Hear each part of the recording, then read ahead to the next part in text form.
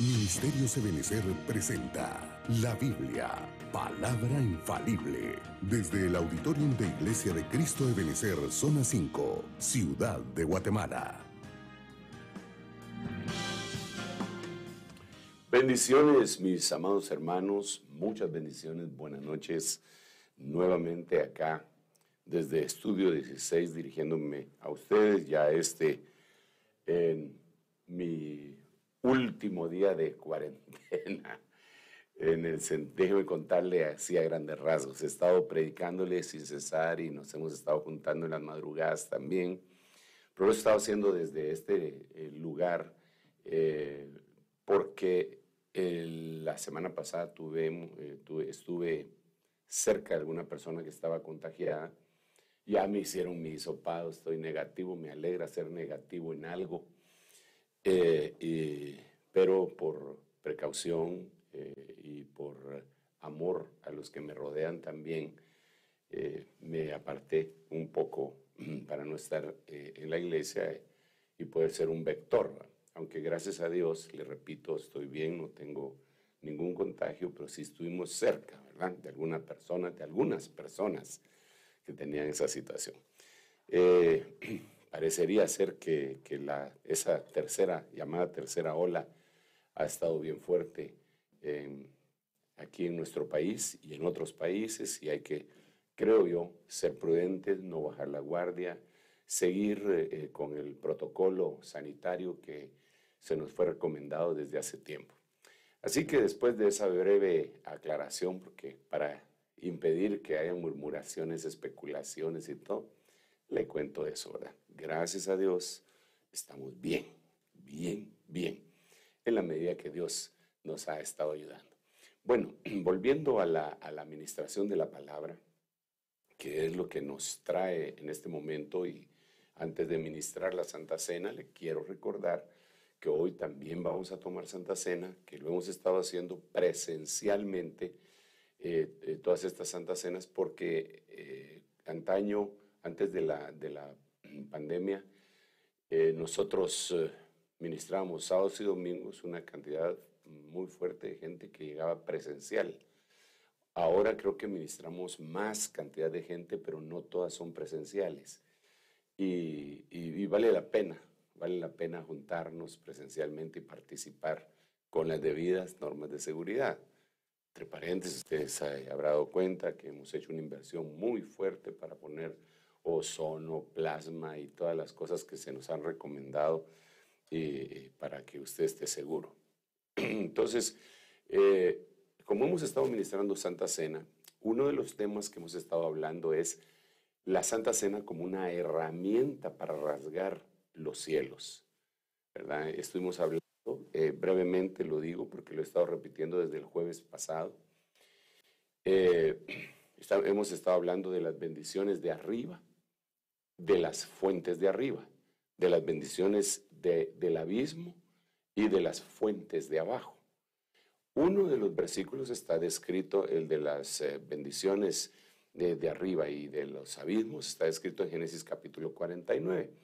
El otro está descrito en Jueces capítulo 1, versículo 15, en donde Axa, eh, que se convierte en la esposa de Otoniel, eh, cuando la dan en matrimonio, Otoniel le dice que le pida a su padre Caleb una bendición. Ella se baja del asno, eso es símbolo de humildad, y le dice a su, a su papá, ya que me has dado las tierras del Negev, eh, dame una bendición.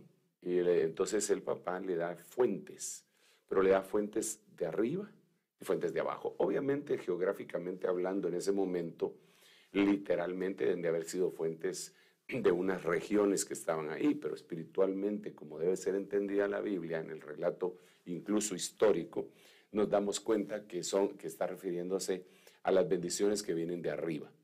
Luego, nosotros eh, entendimos también, según el libro de San Juan capítulo 3, que cuando Nicodemo le llega a, preguntar al Señor algunas cosas que le inquietaban a él, eh, el Señor le dice, te es necesario nacer de nuevo pero eso lo dice las diferentes traducciones. en la traducción, en el original, en el griego, dice que es necesario nacer de anoten, anoten, dice, es la palabra 509 eh, del diccionario Strongs y del diccionario Vine y de un montón de, la mayoría de diccionarios que están linkeados con esa numerología. Eh, y ese anoten quiere decir de arriba. Entonces, realmente lo que el Señor le dijo ahí a, a Nicodemo es, es necesario nacer de arriba, de arriba. Entonces es, bien sugestivo, es bien sugestivo que en primer lugar tengamos que nacer de arriba y ya cuando estamos aquí en la tierra, que trajimos la imagen del hombre terrenal, según también lo dice la Biblia, así como trajimos la imagen del hombre terrenal, así también traeremos la imagen del celestial, refiriéndose al, eh, eh, al postrer Adán, Señor Jesucristo. Entonces lo que hemos estado platicando es lo terrenal, primera dimensión, y la última dimensión, lo celestial, y en medio queda lo espiritual. Mm, lo vuelvo a decir, no hay, ningún problema por repetirlo hasta que se nos quede a todos, ¿verdad? Entonces, dentro de lo espiritual son cosas materiales que nosotros utilizamos con fe y se convierten en cosas espirituales. Esos, esas cosas espirituales sirven para eh, que el Señor entonces las transforme en cosas celestiales, de tal manera que entonces trascendemos desde lo terrenal a lo espiritual y de lo espiritual a lo celestial. Ok. Dentro de las cosas que están en los cielos, que son muchas, ¿verdad, hermano? Híjole, en los cielos hay una cantidad impresionante, impresionante, pero mucho. Bueno, se imagina usted si en la tierra hay cosas que parecerían ser sin límite, se imagina lo celestial. Eh, pero dentro de las bendiciones con las que nosotros hemos sido bendecidos en los lugares celestiales, hay unas fuentes que se llaman las fuentes de arriba. De esas fuentes ya, ya llegamos a la conclusión que por lo menos nosotros vamos a abordar 16, pero hay más. Y dentro de esas vimos la primera, la fuente de gozo, no agotamos el tema, luego abordamos las fuentes de fe, de las fuentes de la fe. En el listado que nosotros teníamos escrito, la, eh, número, la fuente número 10 era la fuente del gozo y ya la trabajamos bastante, la platicamos y ministramos el gozo por medio de la Santa Cena también. Y en el caso de las fuentes de fe, eh, lo, pusimos en el número 16 del listado, la última, ¿verdad? Y nos basamos en 1 Timoteo 3.9 en la versión Biblia al día. La versión Biblia al día dice que nuestra fuente misteriosa de la fe se llama Jesucristo. Hermoso, Jesucristo, nuestro amado, precioso. Entonces, eh, de, esas fuentes de la fe hablamos también ya de los guardianes de la fe, de los vigilantes de la fe. Timoteo era uno de esos y por eso eh, Pablo cuando le habla a Timoteo le dice todas las cosas que pueden eh, estar, que él tiene que estar vigilante, ¿verdad? Los que se extraviaron de la fe, los que se desviaron de la fe, los que naufragaron conforme a la fe, los que negaron la fe. Y le dice varias veces el, el apóstol a Timoteo que él tiene que ser un vigilante de la fe. Nosotros también tenemos que ser vigilantes de la fe, por eso que la Biblia dice en Judas que nosotros debemos de ser edificados sobre nuestra santísima fe. Eh, dentro de todo esto, nos topamos con una, con una temática extraordinaria, preciosa, eh, de las obras de fe, que el que las define más eh, acuciosamente es el apóstol Santiago. En el capítulo 2, en el versículo 14 en adelante, él empieza a explicar las eh, las obras de fe. Y empieza a decir que una fe que no tiene obras es una fe muerta. Alguien puede decir que cree mucho, pero si no activa, si, si no tiene un resultado, el hecho de que yo diga que creo algo, pero mi actuar es incongruente con lo que yo creo, entonces esa, esa fe está muerta. No, eh, o, es, o es estéril. En algunas versiones le pone eh, lo que dice Santiago, no te he dicho que, esa, que la fe sin obras es estéril, en otras dicen, no te he dicho que la fe sin obras es muerta. Entonces de aquí, eh, como el ejemplo que puso Santiago era que la obra de fe, el ejemplo que él puso ahí en Santiago 2, que los versículos, los versículos que he mencionado, era que ayudáramos a los, eh, a los necesitados, a los que no tienen, aquellos que, tienen eh, problemas eh, económicos, digámoslo así, a los pobres. dice ahí Santiago, habla de los pobres que fueron, los pobres de este mundo fueron escogidos para ser ricos en fe, lo dice. Entonces está poniendo ese ejemplo claro, muy claro. Pero, y aquí surgió la gran interrogante. Entonces, ¿qué son las obras de fe? ¿Qué son las obras de fe? Que van a venir como consecuencia que nosotros rasguemos los el velo. El velo, ese velo para sacar las, las eh, eh, bendiciones que están arriba. ¿Cómo lo vamos a hacer? Y entonces la forma de hacerlo, dijimos, Santa Cena y otro montón de cosas que son espirituales, pero que no, en este momento no las hemos estado mencionando ni ministrando porque nos enfocamos en la Santa Cena, porque eso es lo que estamos ministrando durante toda la semana. O sea que hemos ministrado Santa Cena el sábado 6, el domingo 6, el lunes 1, martes 1 y hoy 1. Eh, mañana con la ayuda del Señor volveremos a ministrar la penúltima y la última el día viernes para luego entrar en la semana ya normal de las actividades que tenemos. Entonces, Eh, hermanos, qué importante conocer las obras de la fe.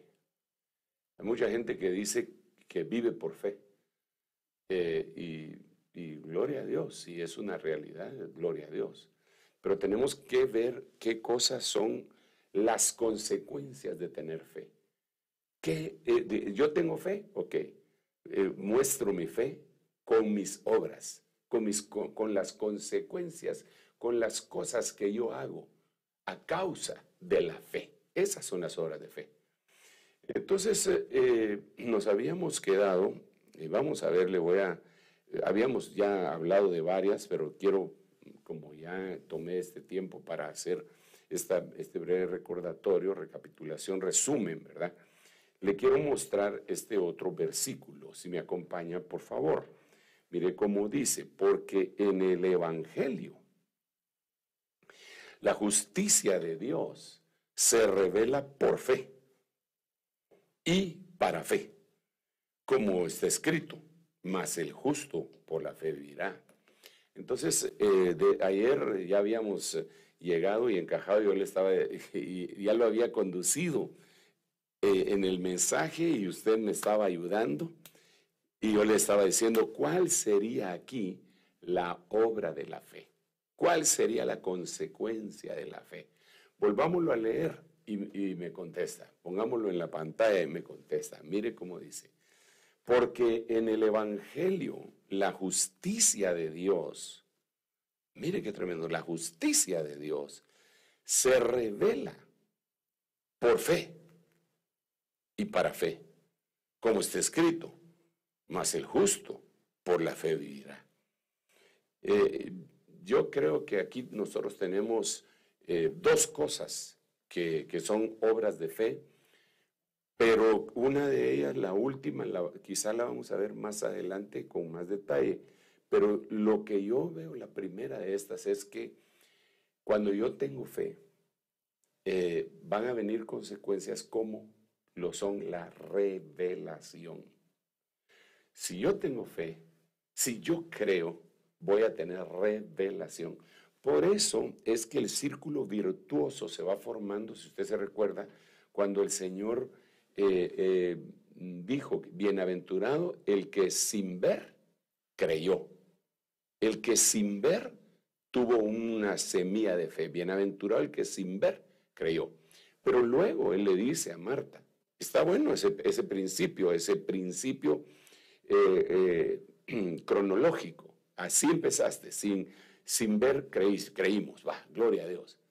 Pero ahora dice el Señor hablándole a Marta, no te he dicho que si creyeres, ella había creído sin ver, ella había creído sin ver, pero ahora si aumentas tu caudal de fe que tienes en tu corazón, si la semilla de mostaza que está representada en la Biblia como la fe, está creciendo en tu corazón hasta convertirse en una hortaliza y después transformarse en un árbol.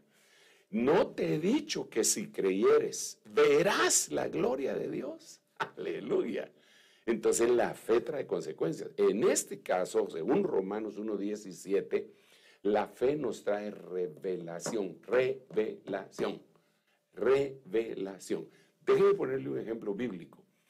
La Biblia dice que en la lectura de la Biblia, en este momento, el pueblo judío tiene un velo, tiene un velo que le será quitado cuando crea. Entonces, ¿cuál es la obra de fe? Que le quitan el velo, le quitan e-, ese velo de, de la cara para que él pueda ver a rostro descubierto. Entonces, si le quitan el velo, ¿cómo se llamará eso? Precisamente develar o revelar. Eso, es parte del significado de la palabra revelar. Entonces uno logra ver lo espiritual. Eh, viene la revelación. En este caso dice la justicia de Dios.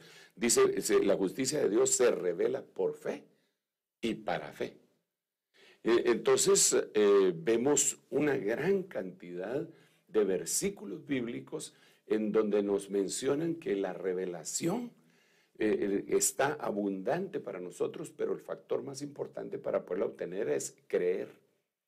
Más adelante vamos a ver un versículo en donde lo voy a explicar con mayor detalle, pero se lo voy a mencionar desde ya porque no sé en qué orden lo puse acá, no se me olvidó en qué orden lo puse, pero es un versículo que está en Tito capítulo 1, versículo 1, en donde Pablo dice, Pablo, siervo de Jesucristo y apóstol, siervo de Jesucristo y apóstol.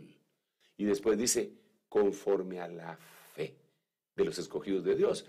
A veces nosotros no leemos esas salutaciones o, las leemos, a que queremos ver que, en dónde están aquí los bombazos.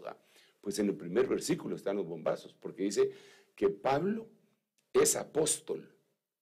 Él, es apóstol, lo crean o no lo crean, porque en el contexto lo dice, ¿verdad? Aunque para otros no sea apóstol, para ustedes soy apóstol.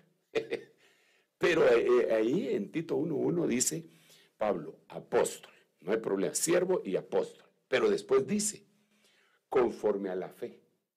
¿Cómo así? Entonces él es apóstol conforme a la fe de otro. Sí, lo es, pero para ese otro. Él es porque él es, pero el otro no lo va a conocer como tal, no se le va a revelar la dignidad ministerial que pueda tener cualquier persona, en este caso Pablo, si primero no tiene fe. Esto es por fe. Es por fe, esas son obras de fe. Esas, entonces, cuando nosotros eh, tenemos la revelación de la justicia divina, es una obra de fe. Y esto es lo que el apóstol Pablo, por lo que él batallaba, peleaba, porque él decía que él tenía justicia de sí mismo conforme a la ley. Entonces, y después termina diciendo en Filipenses, yo no quiero ser hallado en la justicia mía que proviene de la ley, sino que yo quiero ser hallado, Filipenses capítulo 3, en la justicia que proviene de la fe, en la justicia que proviene de la fe en Cristo Jesús. Entonces, eh, la obra de fe es importantísima. Por eso es que Santiago decía que era eh, que una fe sin obras era muerta. Pero aquí yo quiero enfatizar una vez más que la obra de fe no es solamente llevarle suministros terrenales a los pobres. Sí, esa es una obra de fe, indiscutiblemente, y Dios la va a premiar. No estoy diciendo que no. Lo que estoy diciendo es que hay también otras obras de fe que la gente tal vez no sabe, que las está haciendo, pero no las conoce como obras de fe o que las podría hacer. Entonces, esa es la aparente incongruencia que tiene Romanos con Santiago, que aquí dice que no es por obras y aquí dice que sí es por obras. Pero Pablo está diciendo que no por obras de la ley y, Santiago está diciendo que sí por obras de la fe en Cristo Jesús. Son dos cosas totalmente distintas, ¿verdad? Que, se, que empatan, que encajan, que se complementan y nos explican de una mejor manera. Muy bien, entonces tenemos que la obra y la revelación de la justicia de Dios. ¿Cómo es la justicia de Dios? Es por fe. Eh, mire, este tema es bien eh, eh, complicado, le voy a decir por qué. la gente mucha gente dice tener la justicia, pero según su propia perspectiva. Digamos, está la justicia social. Hay una justicia social que, que habla de equidad, que se debe haber la, correcta repartición de las riquezas, por ejemplo. Pero ¿cómo podría ser eh, eso sin el parámetro bíblico? ¿Cómo podría tener, eh, digamos, aquí hay cinco hombres que son bien trabajadores, aquí hay eh, cinco que son bien holgazanes, y entonces los cinco trabajadores produjeron bastante, y ahora les van a decir que tienen que repartir la riqueza entre los diez? Entonces es una, es una manera de pensar de justicia humana, pero no es de justicia divina. Es más, en la Biblia cuando habla en este ejemplo que estoy poniendo, dice dos cosas. Una es el que no trabaja, estos holgazones que ni siquiera comen. Y la justicia divina. Pero la justicia del hombre no es así. Humanista. Eh, la, otra eh, cosa que podemos ver es que, eh, bueno, en la justicia del hombre, en, la ira del hombre no actúa la justicia de Dios. Eh, y, así podríamos seguir explicando otro sinnúmero de, eh, cosas que vienen a apuntalar que debe de haber una revelación de lo que es justicia. Por ejemplo, otro, otro. Dice la, dice la Biblia que el que tiene más, más le será añadido. Y el que no tiene, aún lo que tiene le será quitado. Así lo puso, la, las, traducciones, así dicen de la Biblia. Entonces, ¿cómo así? ¿Dice la justicia de Dios? Bueno, si ahí lo dice en la Biblia, sí, si nosotros, nuestro parámetro es la Biblia, no nuestra manera de pensar. Aquí no se trata de lo que yo pienso, se trata de lo que dice la Biblia. ¿ah? Y entonces uno llega y pregunta. Y entonces viene la fe y la fe nos da la revelación. La gente que tiene fe para algunas cosas, pero no ha llegado al grado de tener la fe para revelación, debe de pedirla, porque si no su fe se va a quedar eh, eh, no crecida. Y recuerde que hemos dicho que la fe debe crecer. Nos dan como semilla, pero llega a tener una fe tan grande como la que tuvo Enoch, que fue trasladado por la fe, por la fe, fue trasladado para no ver muerte. Imagínense hasta dónde llegó la fe de ese hombre. Esa fe no era la misma fe que, que tuvieron los discípulos cuando acallaron la tormenta, cuando le pidieron a Jesús que acallara la tormenta, el Señor se levantó, calmó la tormenta y les dijo, hombres de poca fe. Pero ahora tenemos a un Enoch que se lo llevan sin ver muerte. ¿Qué clase de fe llegó a tener ese hombre? ¿Qué clase de fe llegó a tener? Que la Biblia lo declara en el libro de Hebreos, en capítulo 11, que por la fe él logró que lo trasladaran, de, lo sacaron de la tierra para que no hubiera muerte. Padre Santo, mire el poder que tiene la fe, el poder, las obras de la fe. Que las obras de la fe son grandiosas, sí, sí y sí.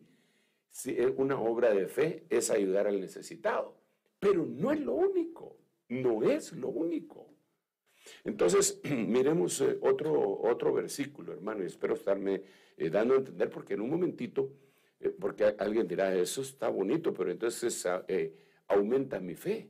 Creo, Señor, Creo, pero ayúdame en mi incredulidad, dijo aquel hombre, padre, aquel muchacho que lo revolcaba el demonio, ¿verdad?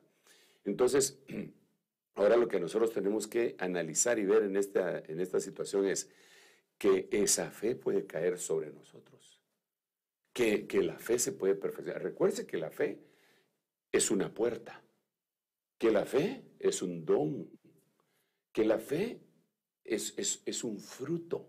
Si es un fruto, se tiene que cultivar. La fe es un misterio, hay que explicarlo. La fe es una puerta, es una llave. hermano, la, fe es, es, una fuente. La fe es una fuente. La misteriosa fuente de vuestra fe, Jesucristo, ¿verdad? Pero la fe también es una fuente de donde proceden un sinnúmero de bendiciones. Que se aumente tu fe. Que seas un cristiano, una cristiana de fe, que, que creas y venga la consecuencia. Por eso este versículo dice que es por fe y para fe. ¿Por qué? Porque va creciendo. La justicia de Dios se revela por fe. Va, por fe. Pero ¿y por qué dice para fe? Porque es un círculo virtuoso.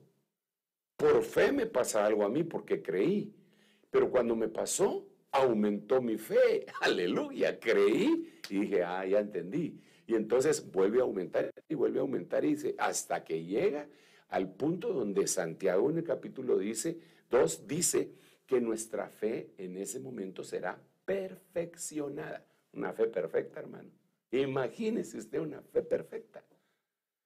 Ahorita andamos nosotros eh, con, una fe que algunos la tienen eh, eh, creciendo, otros la tienen poca, otros han conseguido la grandeza de la cual el Señor habló cuando dijo, qué grande es tu fe. Dos veces lo dijo el Señor, qué grande es tu fe, ni aún en Israel la ha encontrado. Pero a la par que muchos están creciendo en la fe, muchos están decreciendo en la fe, a tal punto que el Señor Jesucristo dijo, cuando el Hijo del Hombre regrese, ¿hallará fe en la tierra? Dando a entender como que si fuera una pregunta retórica con una respuesta negativa, diciendo, no, seguramente no. Ay, Dios mío, pero en ti sí va a hallar fe, en mí también va a hallar fe. ¿Por qué? Porque estamos creyendo. Yo, yo estoy explicándole esto y se lo estoy diciendo con fe. En un ratito vamos a administrar la Santa Cena. Y no lo estamos haciendo de, una manera eh, como que fuera un rito, una ceremonia, una costumbre. Eh, no, no, no, no, no, no, de ninguna manera. No, no, como que fuera un talismán. No, no, no. Reprendo en el nombre de Jesús con entendimiento, con fe lo hacemos. y otra cosa, alguien dirá, pero ¿y cuántas veces puede ministrar la Santa Cena? Pues una vez al mes, me habían dicho a mí, no, porque el, apóstol Pablo dijo, esta cada vez, cada vez que esto hagáis mi muerte anunciáis, cada vez. cada vez puede ser hoy en la mañana, hoy en la tarde, hoy en la noche, pues cada vez. No dice cada vez una vez al mes. No dice así, no dice así. Ese, es bien tremendo, porque la religiosidad ha encerrado el tema de la Santa Cena muchas veces en, en, cosas como le acabo de decir, una vez al mes y nada más. Que si yo voy de visita a otra iglesia porque estoy en otro país, ahí no puedo tomar Santa Cena porque no es mi congregación, pero no es del cuerpo de Cristo. Pues la Santa Cena no se trata de hacer un, un pacto con la gente con la que uno está tomando, el pacto es con Dios. Y no lo hizo uno, sino que lo hizo Él. y está en su sangre, el pacto está en su sangre. Y muchos la utilizan incluso para castigar. No puede tomar Santa Cena. ¿De cuándo acá? Si la Biblia dice que cada uno pruébese a sí mismo. Y después es un juicio personal. Yo voy a decir, no, yo no me estaba portando bien, Señor Así que te quiero pedir perdón. Me arrepiento, me alejo del pecado y tomo Santa Cena. Entonces es semana de Santa Cena. Aleluya, semana de Santa Cena. Que empezó el sábado pasado y va a terminar el viernes para que le demos la vuelta así. Y si tú le dices, hermano, ¿y la puedo tomar yo otra vez? Porque yo la tomé el domingo tres veces. Pues dale, da, pero, pero ya sabes cómo. Por eso es que lo estamos explicando. Sigamos hablando de la fe. Fe eh, ligada, vinculado a eh, eh, Santa Cena. Miremos otro versículo, acompáñeme por favor en la pantalla. Romanos 3:26. Tengo que apresurarme, quiero llegar a unos versículos que nos abren otro panorama precioso. Romanos 3:26. Para demostrar en este tiempo su justicia, a fin de que Él sea justo y sea el que justifica al que tiene fe en Jesús. Aleluya. Entonces aquí otra cuestión, recuerden que estábamos hablando de justicia hace un ratito, de la verdadera justicia, la justicia divina, no la justicia eh, que propone el hombre, sino que la justicia divina, porque eh, así es eh, todo en, digamos, la sabiduría hay una sabiduría que tiene el hombre, la inteligencia hay una inteligencia que tiene el hombre, la sabiduría que tiene el hombre se puede llegar a convertir en terrenal, animal y diabólica. La paz, el, hombre también da paz. Mi paso dejo, la paz os doy, no como el mundo la da. Entonces, el gozo, diste mayor gozo a mí mayor que el de ellos cuando a ellos les, les abundaba su grano y su mosto. Entonces el gozo lo puede dar el mundo, la paz la puede dar el mundo, la sabiduría la puede dar el mundo, la inteligencia la puede dar el mundo. Pero no es esa la que estamos buscando, sino que la que desciende del cielo de Dios, de esa sabiduría. Entonces la justicia también. La justicia, el hombre podría decir que está impartiendo justicia. Y puede ser que, que así lo esté haciendo, terrenal, ¿verdad? Pero hay una justicia que viene de Dios. ¿Quién puede ser justo delante de Dios si nos conoce nuestros pensamientos? ¿Quién puede ser justo delante de Dios si sabe lo que vamos a hacer antes de que siquiera lo pensemos en su omniscencia y omnipresencia y omnipotencia? Entonces, la fe nos justifica, nos trae la justicia y nos la pone dentro de nosotros. Entonces dice, por eso es que dice, justificados pues por la fe, justificados pues por la fe, tenemos paz para con Dios. Pero en este versículo, si lo volvemos a leer, por favor, mire cómo dice Romanos 3:26, para demostrar en este tiempo su justicia, a fin de que Él sea justo y sea el que justifica al que tiene fe en Jesús. Entonces, ¿cuál es la hora de la fe? Justifica. ¿Cuál es la hora de la fe? Justifica. ¿Cuál es la hora de la fe? Justifica. Entonces, alguien, ¿cuál es la obra de la fe? ¿Tienes obras? ¿Tienes obras de fe? O sí, hermano, yo ayudo mucho a los necesitados. Te felicito, síguelo haciendo. Pero hay otras cosas que se puede, que la fe tiene que hacer. Y una de ellas es justificarte. Hermano, no te tienes que justificar tú. Tiene que justificarte tu fe. Porque, o la fe de Dios en ti. Entonces la fe entra y hace cosas hermosas. Ay, si es para decirles, eh, que tu fe crezca en mí. Por eso dice la Biblia que debemos de crecer en fe hasta que llegue a ser perfeccionada. Muy bien, miremos otro, eh, porque hay otros, y vamos a llegar a Santiago, creo que en Santiago vamos a, cerrar, por lo menos hoy. Vamos a ver, mm, acompáñeme, todavía estoy en Romanos 5, 2. Por medio de quien también tenemos hoy, em, fíjese qué bonito este versículo, bueno, todos son lindos, ¿verdad? pero mire cómo dice, por medio de quien también hemos obtenido entrada por la fe. O sea que la fe da entrada. ¿La fe entra a qué? Leámoslo otra vez. Por medio de quien también hemos obtenido entrada por la fe a esta gracia, en la cual estamos firmes y nos gloriamos en la esperanza de la gloria de Dios. Aleluya. Entonces aquí, aquí vemos otro, otro aspecto de, la fe, de la obra de la fe. Lo que hace la fe en nosotros es que nos da entrada a la gracia. Nos da entrada a la gracia. ¿Y eso qué, hermano Sergio? Dirá alguien. Ah, eso mucho, porque para empezar, recuérdese que uno de los versículos que, que, que nosotros constantemente les hacemos ver y les hacemos ver porque nos conviene mucho, hermano, y ahí está, esa, esa es una clave para nuestra buena vida cristiana y el pronto eh, advenimiento del Señor cuando nosotros nos presentemos delante de Él, dice en Primera de Pedro capítulo 1, dice, poned vuestra esperanza completamente en la gracia que vendrá en la manifestación del Hijo de Dios. Entonces, si yo tengo fe, la obra de la fe va a ser que me va a dar entrada a la gracia.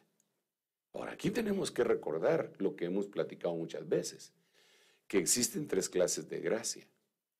La gracia del Padre, que nos fue dada en Cristo Jesús antes de la fundación del mundo, dice 1 Timoteo 2.9. Eso no me lo estoy inventando yo. Es una gracia del Padre que nos fue dada antes que nosotros tomáramos cuerpo. Nos fue dada esa gracia, ahí está bien claro, eh, en el versículo que le acabo de mencionar. Si quiere lo leemos, vamos a ver si lo, si lo encontramos con rapidez. Creo que es eh, primera de Timoteo, sí, aquí, eh, vamos a ver si es acá. Mm, es en el capítulo 1, perdón. Ay, Padre Santo, ¿qué estoy haciendo? Capítulo 1, verso 9 o verso, ah, estoy en el, en el 19. Ay, Señor, guarda, no, aquí está hablando de la, de la fe que fue dada. Eh, ese es el guardián de la fe. Vamos a ver, rápidamente lo vamos a buscar. No se me preocupe. Y aquí está, mire. Quien nos ha salvado, 2 Timoteo 1.9, mire cómo dice, quien nos ha salvado y nos ha llamado con un llamamiento santo, no según nuestras obras, sino según su propósito y según la gracia, mire, que nos fue dada en Cristo Jesús desde la eternidad. Vamos a ver cómo dice, mire cómo dice esta Reina Valera RBG, dice que la gracia nos fue dada antes del principio de los siglos. ¿Cómo decir que tenemos una gracia que nos fue dada antes del principio de los siglos? Mire cómo dice la Biblia textual, tercera edición. La gracia que nos fue dada en Jesús el Mesías antes de los tiempos eternos. Mire cómo dice esta otra, que nos dio en Cristo Jesús esa gracia antes de que empezara el tiempo. Antes de que empezara el tiempo.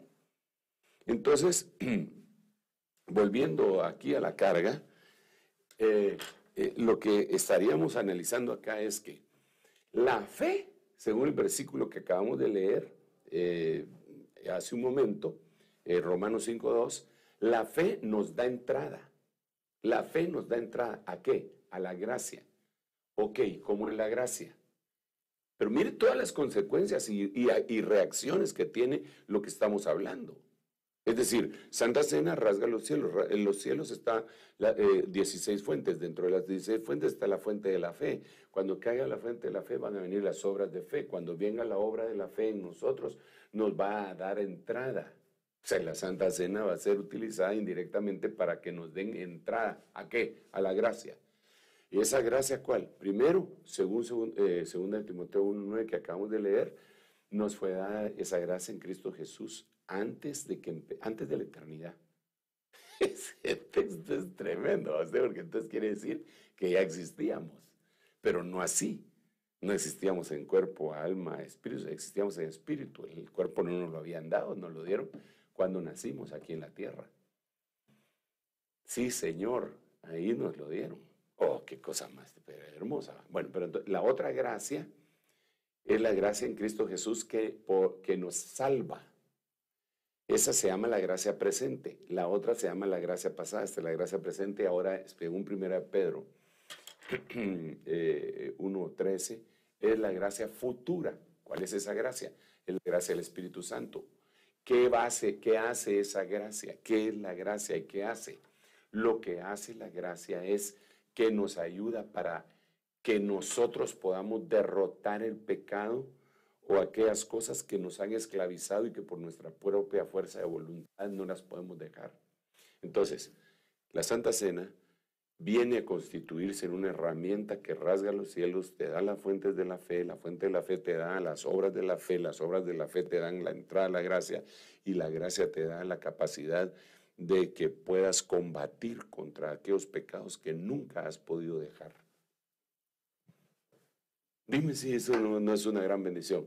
O lo estoy haciendo muy complicado. Pues yo no lo miro complicado. Yo lo miro lógico, espiritualmente hablando, pues. Una, cosa trae otra, la otra trae otra, y así sucesivamente. Es casi cuestión de trámite. Entonces, eh, obtén la gracia de Dios. La gracia de Dios perdona, te perdona pecados, pero también te ayuda a que puedas combatir contra los pecados y esas cosas en nuestro carácter, hermano, que muchas veces nos hacen tanto daño, hace, nos, hacen, nos han hecho daño en nuestra familia, en las relaciones humanas con otros eh, eh, eh, sociales, eclesiásticas, todo. Pero la gracia de Dios, si nos llena, ya la hicimos. Muy bien, sigamos, sigamos. Miremos otro versículo. Quiero llegar a Santiago. Vamos a ver, ahí está Santiago. Ahí hay tres cosas que da la gracia. Y creo que ahí es muy probable que ahí es donde nos vayamos a terminar. Empezamos en Santiago y ahí vamos a terminar.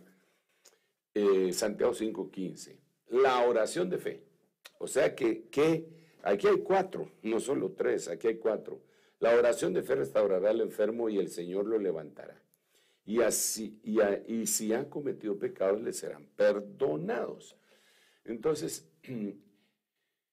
si yo tengo fe, una de las obras de fe es que voy a orar. Si no tengo fe, pues la gente podrá decir, ¿para qué voy a orar? ¿Para qué voy a orar? E, está expresando que no cree, que no cree que haya una, una eh, opción, una bendición, una oportunidad para eso es lo que está diciendo, si, si se expresa de esa manera.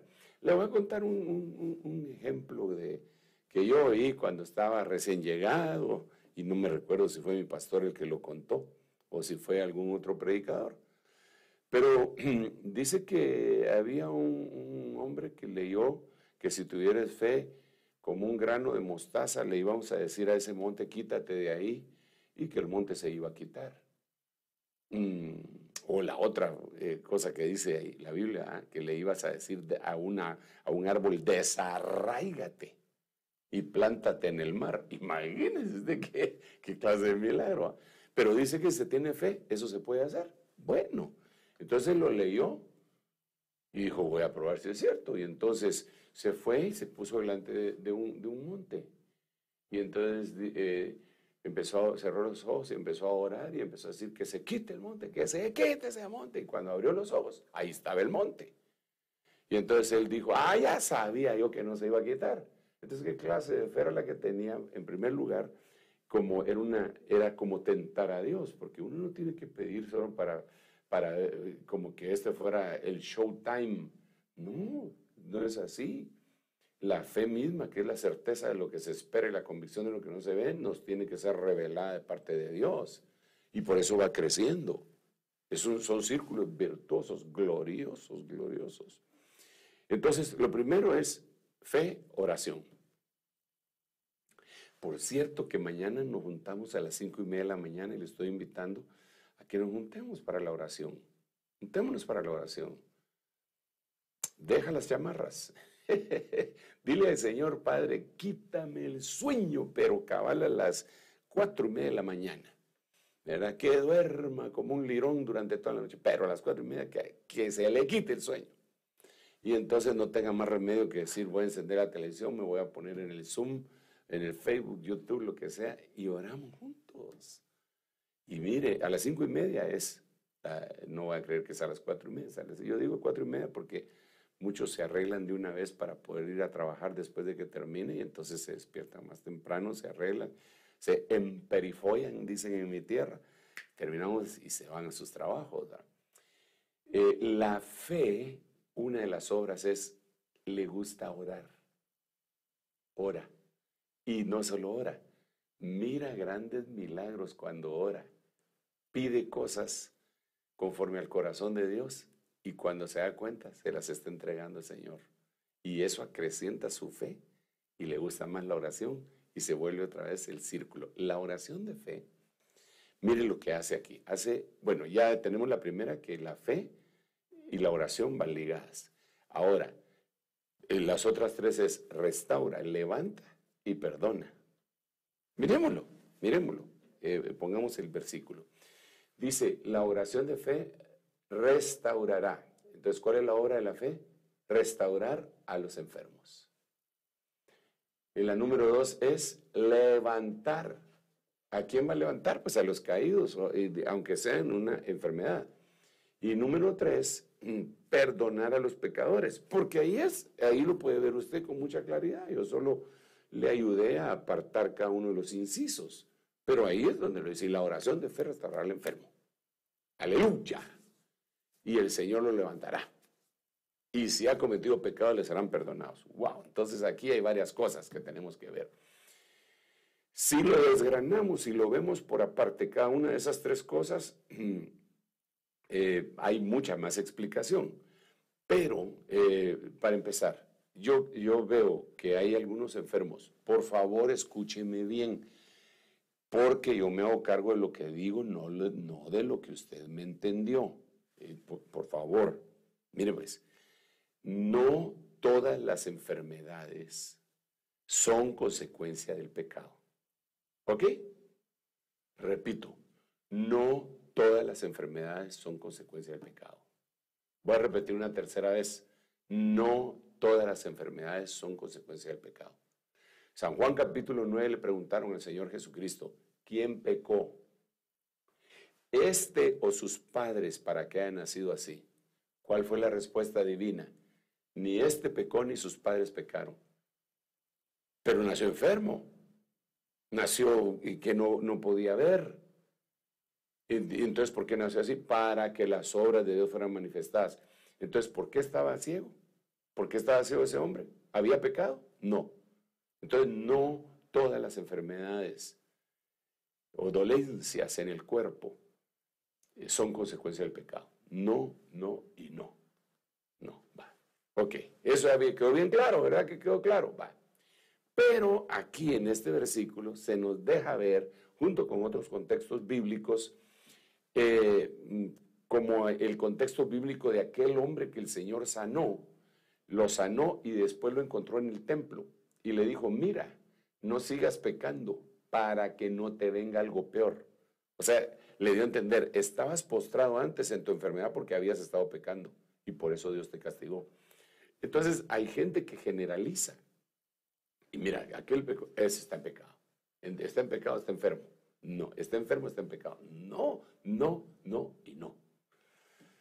Eh, pero hay algunos que sí. Por eso aquí dice Santiago 5.15 y el versículo también que te mencioné, dice, y volvámoslo a leer, por favor, dice, la oración de fe restaurará al enfermo y el Señor lo levantará. Y fíjese que pone, y si ha cometido pecados. En otras palabras, y si la condición física es como consecuencia de que cometió pecados, le serán perdonados. Entonces, ¿cuál es la obra de la fe ahí?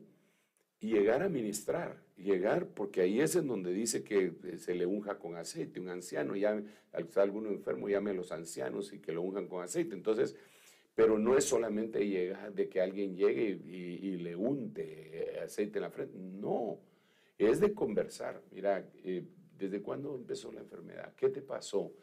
Y, espera, y pedirle al Señor, ¿verdad? Pedirle al Señor la revelación eh, hacia Él o la convicción de, Él que sí sabe lo que hay en su interior y que en ese momento puede decir, mire hermano, fíjese que yo hice tal y tal cosa. Y yo creo que por eso me vino este mal. Ah, muy bien muchachito, vamos a orar. Vamos a orar. Confiesa esa cosa y, ve, y si hubiere pecado, le será perdonado. ¿Cuál es la obra de la fe? ¿Cuál es la obra de la fe? ¿Cuál es la obra de la fe? Perdonar pecados. Oh, ¿quién puede perdonar pecados si no solo Dios? Dijeron aquellos fariseos, se recuerda. Y el Señor le dijo, ah, ¿por qué pensáis mal en vuestros corazones? Eh, ¿Qué es más fácil? ¿Qué eh, decirle a este, tus pecados están perdonados o toma tu lecho y vete? Pues para que veáis que el Hijo del Hombre tiene potestad para perdonar pecados en la, en la tierra, le digo a este, levántate, toma tu lecho y vete. Y dice la Biblia que se quedaron impresionados por todo lo que había sucedido. Claro que se quedaron impresionados porque aquel hombre se levantó, caminó, hubo un milagro. Pero lo que ese milagro estaba refrendando era que Jesús podía perdonar pecados. Y entonces dice a continuación, en ese versículo, dice, y se quedaron admirados de que Dios le hubiera dado tal poder a los hombres, ya no a Jesús, a los hombres, lo dice, usted lo puede ver en, el texto que estoy mencionando. Entonces, una obra de fe es perdonar pecados. Si uno tiene poder, uno está eh, eh, fuerte en el Señor, uno puede perdonar los pecados. ¿Qué pecados? Para empezar, cuando alguien pecó en contra de uno, que uno le puede decir, ¿sabes qué? Te perdono, te perdono. Porque alguien dirá cualquier otra cosa, pero, pero hermano, y no, no Esteban lo pidió, pues porque alguien dirá, no, eso ya es otra doctrina de una religión, no sé cuál. No, Señor.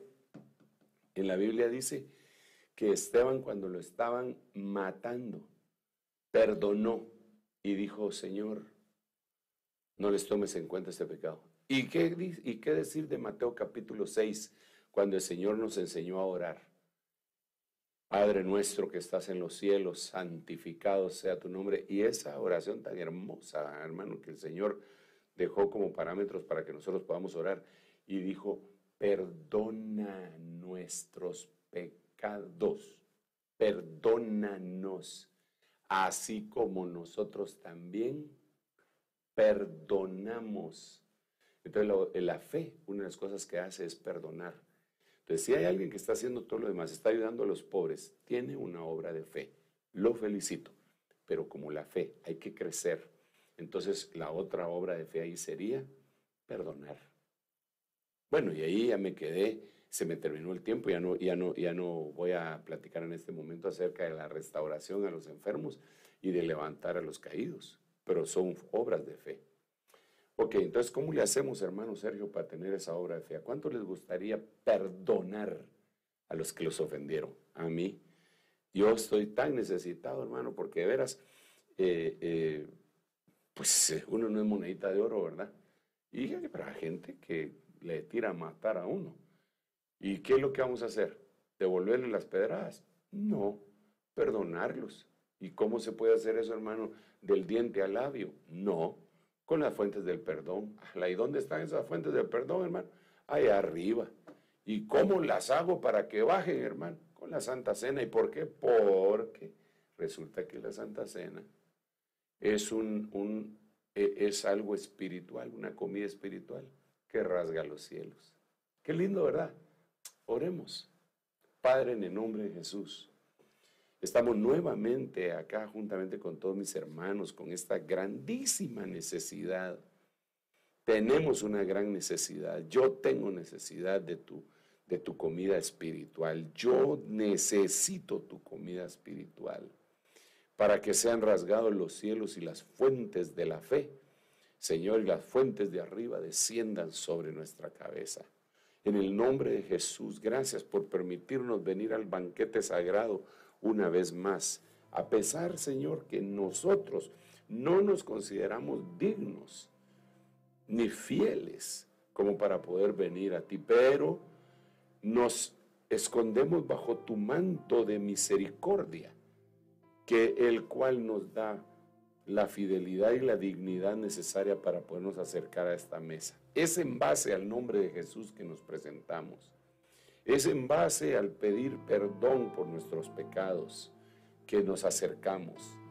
Bendice este pan y esta copa, este, este jugo de, de la vid. Bendícelo, papito lindo, por amor a tu santo nombre y permite que dentro de nosotros se convierta en genética tuya, en el nombre de Jesús. Comamos todos del pan en este momento, amados hermanos. Comamos.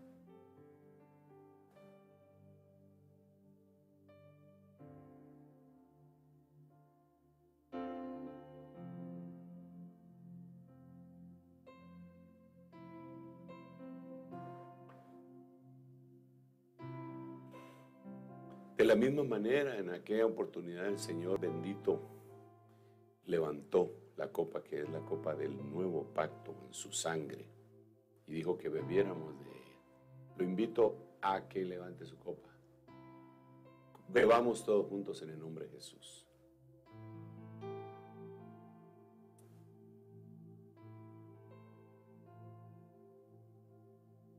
Gracias Jesús. Muchas gracias. Muchas gracias. Dale gracias, hermano, un momentito, dale gracias en la quietud. Dale gracias. Gracias, Padre. Gracias, Hijo. Gracias, Espíritu Santo. Cantemos un himno, mis hermanos, por favor. Mis hermanos que están dirigiendo.